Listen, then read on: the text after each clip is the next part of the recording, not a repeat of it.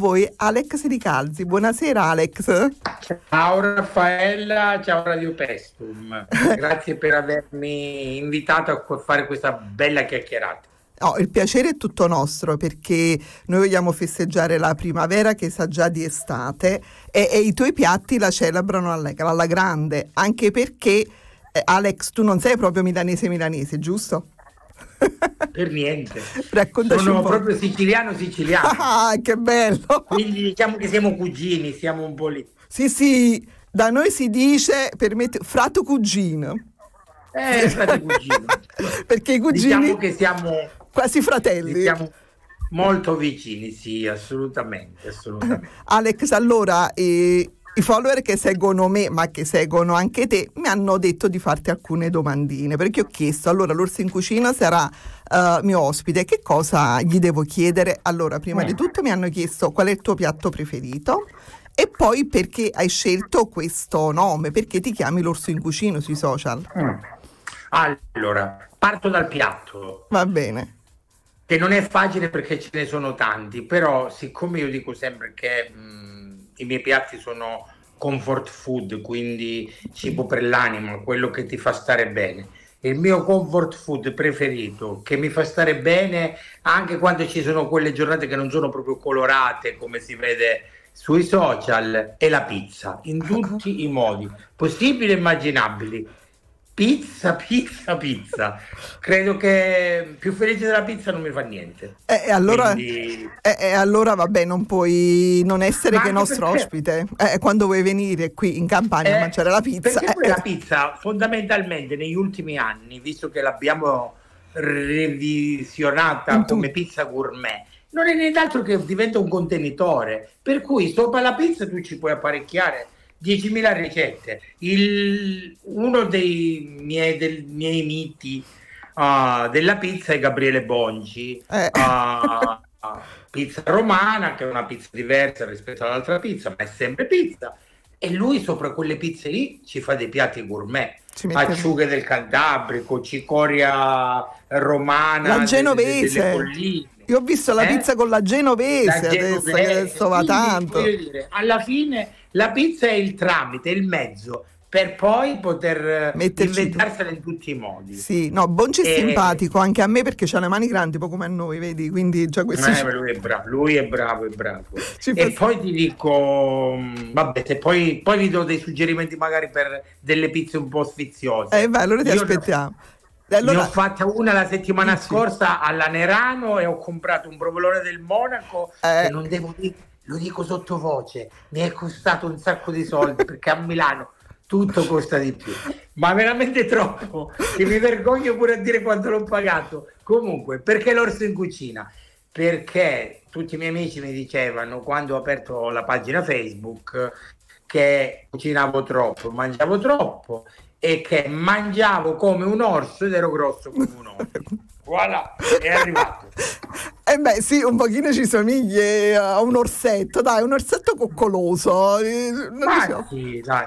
Sei Purtroppo simpatico. questi orsi che sono stati tanto maltrattati in questo periodo eh? da, dalla stampa, da, da, tante cose, vabbè, comunque non siamo lì per quello, parliamo di cucina. Purtroppo quindi, sì, vabbè, I, i, tuoi prop, se, quindi, ma dove trovi poi tutti questi gettini a formi d'orsi? Allora, un po', prima viaggiavo un po' di più, adesso un po' di meno, un po' i viaggi, un po' il web perché trovi tante cose, sì. un po' perché non lo so per quale motivo, ma è un spesso anche nei piatti ci sono delle tazze con disegnati gli orsi, sì. piatti, ma anche di cose non necessariamente da, da gadget o da sì, bambino, sì, proprio collezioni di, di, ceramica importanti, forse un po' quelle più del nord Europa. E quindi, vabbè, tra le collezioni che faccio io, tra gli amici che se vanno in giro e vedono qualcosa me la portano. Allora, casa mia è diventata una sorta di museo, di contenitore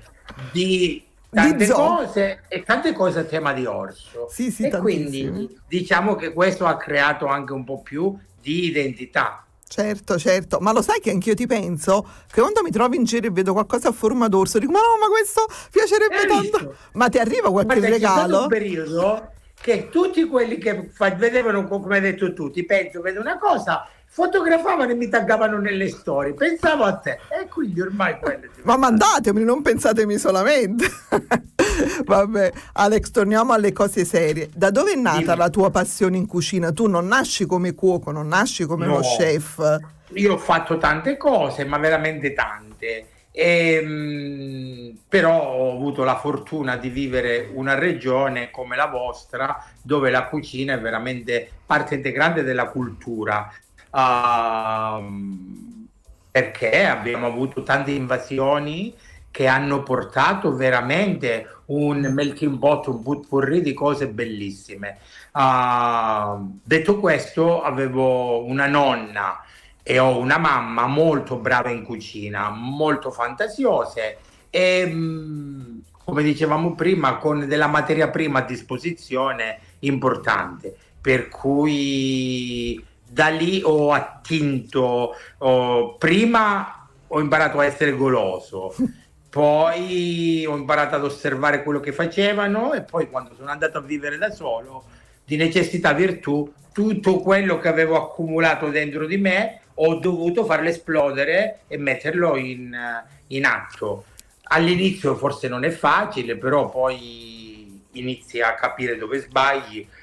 Con una telefonata chiedi magari come hai sistemato il sugo, cosa gli hai messo per farlo buono come lo facevi tu e quindi poi uh, quelle nozioni si trasformano in, uh, in, in quaderni di cucina, perché credo che ogni mamma, ogni nonna ha avuto un quaderno di cucina certo. che poi certo. si è tramandato. Certo. E, e, se non l'ha fatto in modo scritto, l'ha fatto in modo verbale, perché come ci dicevamo in una nostra chiacchierata, le nonne andavano a sentimento, per cui la ricetta della, del ragù, della frolla, della genovese, di quello che vuoi, per loro era a sentimento. Noi adesso giustamente uh, segniamo tutto, anche i grammi, perché lo spreco in cucina non è una bella cosa. Non Quindi, dobbiamo. da blogger dico che se devo dare la ricetta della, della, pasta frolla, è ovvio che per una crostata ti dico quanto è grande la, la, la tortiera, certo. e perché se ti dico le dimensioni doppie, poi tu che l'andrai a rifare ti troverai un, uno, un esubero un di impasto. È vero che probabilmente non si spreca perché lo, saprai come utilizzarlo, però diciamo che non è giusto gettare uh, il, il cibo. E quindi questo è stato l'approccio alla cucina, due figure importanti, la mamma e la nonna. E quindi questo come ti ha fatto diventare un food blogger famoso? Perché tu comunque hai un bel seguito e lavori anche, quindi oltre ai sì, social... Allora, questa è stata la passione. La passione perché poi diciamo che era un, una cosa che mi piaceva tanto. Vedevo altri food blogger prima di me uh, che avevano iniziato prima di me e ho cominciato a prenderli ad esempio. E quindi dicevo, ma chissà se un giorno ci arriverò io poi da questo punto di vista posso dire che sono fortunato perché vivo in una regione e in una città e una provincia dove il cibo è diventato una costante, uh, è una moda e, che ha preso sempre più piede, che lega veramente tutte le culture che ci sono, perché se tu vieni a Milano c'è thailandese, c'è giapponese, c'è eh, cucina del Sichuan, vuoi andare a mangiare marocchino, trovi veramente un po' di tutto. Quindi diciamo che il terreno è fertile uh, per poterla coltivare come, come, professione. Però vedo che ormai, uh, visto che comunque l'Italia è una repubblica fondata sul cibo, uh, sta mettendo un po' d'accordo tutti questa cosa e credo che anche per chi sta un po' più lontano da Milano, diciamo che è più facile farlo diventare un lavoro. Eh, quindi sì, piano piano ho, avuto, ho, iniziato ad avere seguito, poi frequentando eventi, frequentando un po' il mondo del, del blogging milanese, oh, sono riuscito a farmi notare. Siamo tanti e... Ognuno ha il suo spazio. Oh. Quello dico, c'è, spazio, c'è spazio per tutti. in un modo diverso. Bravissimo. Ognuno lo fa veramente in un modo diverso. La cosa bella è questa. Sono d'accordo puoi attingere da ogni profilo uh, ha delle cose, delle nozioni, ha un modo di vedere la vita e le cose differente.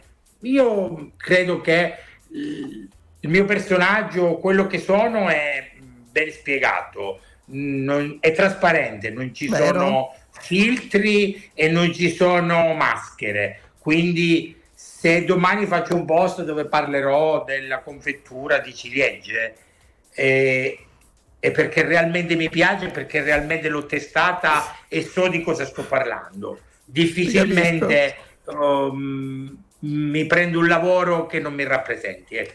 Ti capisco, ti capisco, la, sono della tua stessa linea. Eh, io so anche che tu sei riuscita a realizzare un tuo piccolo sogno nel cassetto, che poi tanto piccolo non è stato, e diciamo anche un onore anche alla mamma e alla nonna. Che cosa c'è di sorpresa nel cassetto dell'orso in cucina? Guarda, si vede lì, aspetta che... Eh, no, faccelo vedere meglio, certo, certo. Allora è qui. Questo ah, qui... Ma che bello!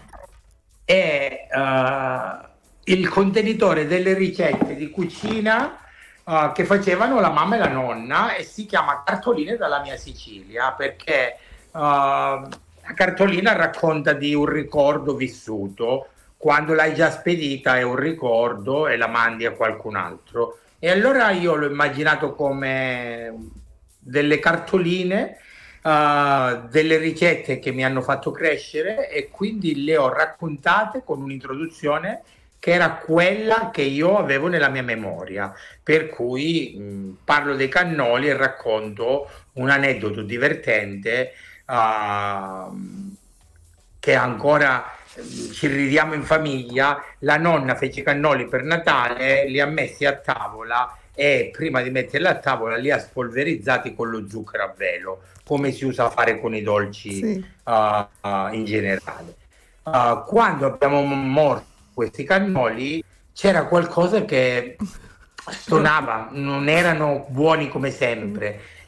E la bocca aveva un po' di frizzantino, aveva sbagliato, anziché mettere lo zucchero a velo, aveva messo la magnesia, che era un digestivo in polvere, aveva diciamo sbagliato il barattolo e quindi ci abbiamo fatto una grande risata. E tutte le volte che si mangia un cannolo in famiglia, la memoria va, va lì. Credo che una spolveratina di magnesio ci voglia perché non ha più quel certo. sapore il cannolo. Dopo un pranzo luculliano, non è male. Come tu pensare che noi del sud eh. si sa quando ci sediamo a tavola, ma non si sa quando ci È quello il bello. È quindi non... questo è stato. E quindi un po' questo qui è, la, è l'impronta del libro. E, mm, lo trovate su Amazon come cartoline della mia Sicilia di Alex Licalzi Quant- e, mm, Quanto tempo ti ha tolto? ricordi dell'orso in cucina. Bello, bello, lo consiglio perché è veramente invitante e invogliante. Non sono solamente delle semplici ricette, non sono solamente un elencare di ingredienti e di preparazione, ma c'è veramente un'anima e un sentimento che viene dalla famiglia, dalle tradizioni a cui siamo tutti quanti eh, legati, quindi delle ricette evocative. Eh, quanto tempo e energia ti ha tolto questo libro e poi ti ha dato quando l'hai visto stampato? Allora, mi ha tolto tre mesi, tre mesi intensi, veramente intensi, e me ne è arrivata tanta quando ho avuto la prima copia in mano me ne ha tolta tanta durante la presentazione perché sono stati due mesi di fuoco, tutto novembre e tutto dicembre, è stato tour de force, bellissimo. Sono arrivato fino a Roma, anzi sono arrivato fino a Catania. Ah, ah. E, sì, Beh, sì, eh, però non sei passato di qua, hai capito? Quello è il problema. Eh, organizzeremo. No, però guarda, con l'autunno adesso abbiamo ripreso con le presentazioni, in realtà ce ne sarà a maggio una a Torino al mercato centrale poi a luglio sarò a Cagliari per un festival e farò due presentazioni durante il festival in un lido, l'orario dell'aperitivo, chiacchiereremo un po'. Diciamo che io poi, essendo un po' così estroso, la presentazione, non avendo scritto un romanzo, la presentazione io l'ho immaginata in un modo diverso, con le mani in pasta, per cui ho coinvolto ho coinvolto le persone che venivano a preparare gli arancini di riso. Ah, che bello! Io portavo il materiale già pronto da assemblare e quindi ho dato un po' di manualità. Uno show cooking? Persone... Hai fatto sì, uno show cooking nella presentazione? lo portavano a casa e, mm, e, mi mandavano le foto con l'arancino fritto nelle proprie cucine. Perfetto. Una gran soddisfazione. Allora ci organizziamo, Alex. Ti, ti sarai, sarai mio ospite in autunno perché voglio assaggiare anch'io i tuoi arancini.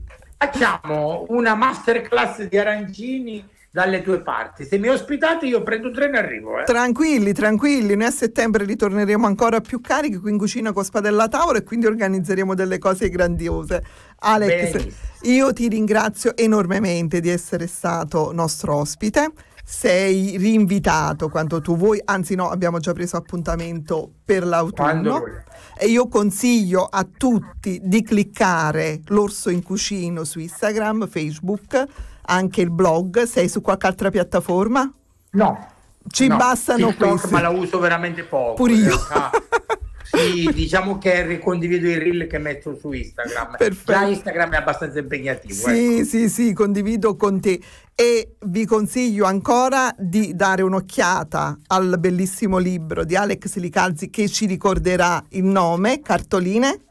Dalla mia Sicilia. Perfetto, allora io ti saluto Alex, ti auguro un buon fine settimana e con voi... Io ti auguro una buonissima primavera e una bella estate piena di colori, di profumi e di buon cibo. Grazie, questo a noi in campagna non ci manca, non ci manca eh, niente di questo. Alex, un bacione grande grande ciao, e ci rivediamo un sui abbraccio. social. Ciao a tutti. Con ciao, voi ci risentiamo ciao, dopo un piccolo break musicale.